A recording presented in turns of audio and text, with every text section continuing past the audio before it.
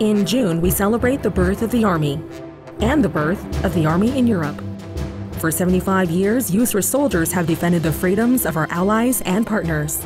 From the Cold War through Desert Storm, the Balkans, Iraq, and Afghanistan, USAREUR soldiers continue to stand together with Europe to deter threats to peace and security on the continent.